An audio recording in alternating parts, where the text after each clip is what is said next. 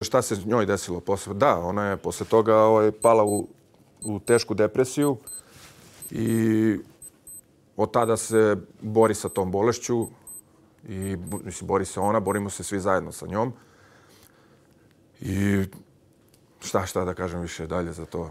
E, da li je to što se tebi desilo 100% razlog toga? Pa mislim da Šta kažu? Ne, generalno, da, da. Uh, pa ceo moj način, ona je, ona je bila jedan veliki drug. Još ko klinci, kad smo se prvi put ponapijali, kad smo prvi put neke gluposti pravili, mi bi bežali, svi bi bežali kod mene kući i ona bi nam bila nekako... Ovaj, alibi. Alibi za sve i svakog mog druga je ovaj, krila i pomagala mu što se toga tiče i jednostavno se postavila prema nama kao veliki drug. E sad, opet, jedna majka ne bi trebala da zna sve te stvari i te gluposti koje smo mi radili i šta smo radili. Ali ona je onako jednom, jednom prilikom rekla, lakše mi je kad ste, kaže, tu kad vas čujem da ste kod mene, onda sam sigurnija. Ali mislim da je ceo taj moj put do, do tog trenutka je već to, mislim da je to nju načelo do, da bi ta moja presuda i to... Dok je, Da, zato što sam ipak znači... ja sin jedinac i ono, i kad su se razvodili, ona je rekla sve samo da ostanem s njom. Sve može, samo da ostanem s njom. Tako da, upravo si za to što kažeš. Da li možeš danas da kažeš, evo sad imaš 42 godine, ili tako? Hvala ti, ali imam 46 Dobro, izvin, 46. Dobro, sad to nisam precizirao. Ove, ovaj, da li možeš sad da kažeš da si ti u stvari i sa tim što si uradio uništio porodicu? Moju porodicu? Da. Pa dobro, na neki način da, oni su se razvili već... Ne mislim na da. razvod, nego pa ne, da. posle toga. Ta borba da. svega.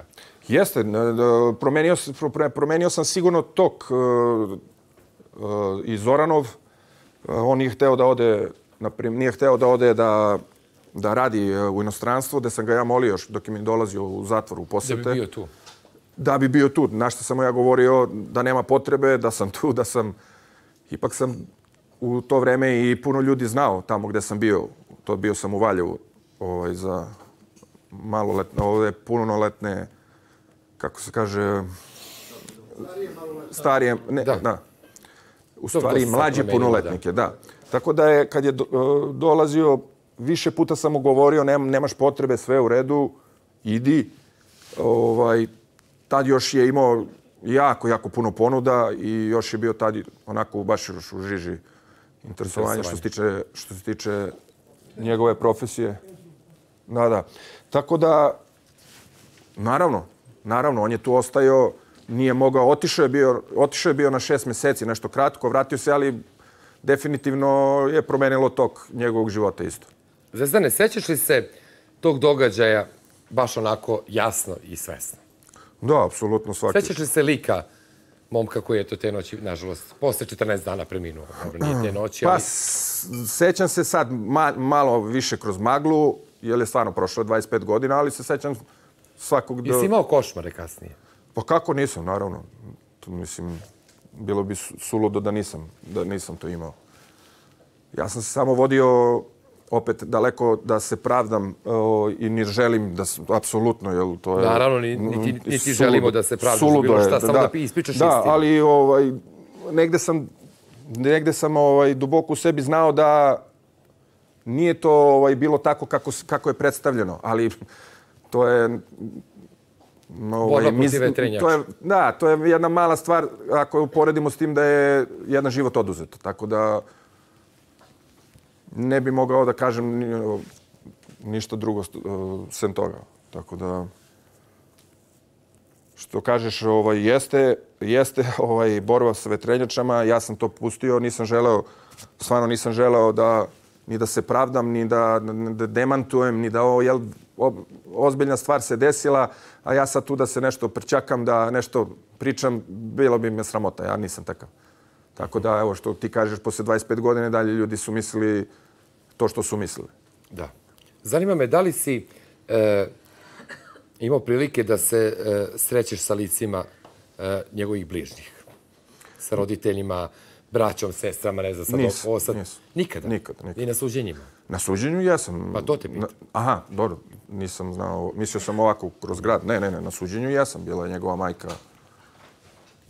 Nje Kako se to izgledalo? sećam. Pa, si kao na filmu. Kao na filmu. Mislim, sudnica, 300 ljudi, novinari itd. itd. Onako je baš...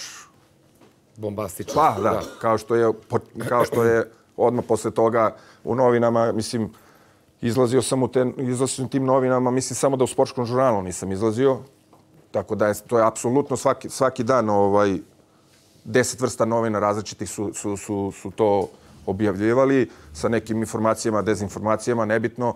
Onako, ni- ni- nije uopšte stalo, nije uopšte stalo tu do posle mog hapšenja svega i do kraja.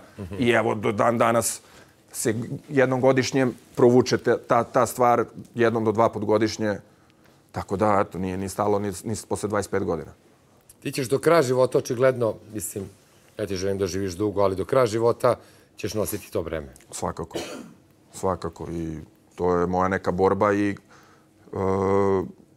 apsolutno zasluženo, zasluženo da, da, da, da moram da, mislim, znam šta sam uradio i to je jedna velika tragedija, tako da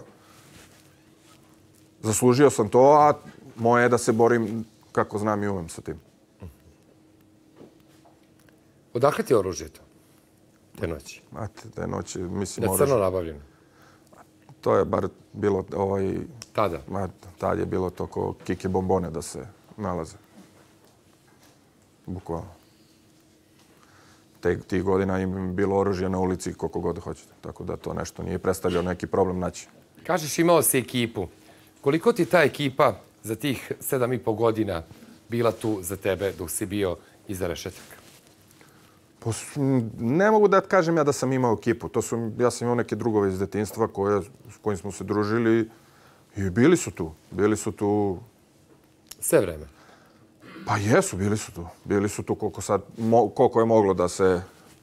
Mislim, pošto ipak sam tamo u pritvoru, posle pritvora sam otišao u zatvor, ali da, pomagali su, pomagali su mi i bili su tu. Koliko su mogli. Pa da, naravno. Ksenija Pajčin, nažalost, je kasnije tragično završila i ona i, i njen tadašnji dečko. To svi već znaju da ne objašnjam, sad da ne ulazimo u to, to nije uopšte naš posao. Da li si bio u kontaktu sa Ksenijom nakon uh, toga što ti se desilo? Ikada? Ma, možda sam... Dva put sam se možda video sa njom. Nešto jako kratko, ali... Gde ste se vidjeli? Kako? Pa ne znam, ja mislim da sam bio na vikendima tada. Izlazio sam, dobio sam te neke tretmane, pa sam izlazio i ovaj, na vikende. Videli smo se jednom nešto kratko sat vremena, malo popričali i, i to bi bilo to. Ništa nešto. Šta ti je rekla tada Ksenija? Prvo ti kažem, nismo ni... Mm, mm, više smo čutali nego što smo pričali, tako da... A i ovaj, namestilo se da, valj, da ovaj, trebala je da ide, ovaj, koliko se ja sećam, na neku tezgu. Tako da, eto, jako malo, jako malo. Ajde se malo ostanemo na Kseniju Pajčin. Kakva je to bila osoba u tvojoj glavi sada kada... Kada, Kad se vratim. Kada je, kad se vratiš, kada je ovoliko godina prošlo i nažalost, eto i ona je tragično završila. Pa Ksenija je bila, pa posebna je bila uh, jedna devoj, devojčica koja je ono, puna, puna energije, nekog veselja, ne znam, o, sve naj, naj, najlepše što može ono, da se kaže za nju, tako je bila stvarno.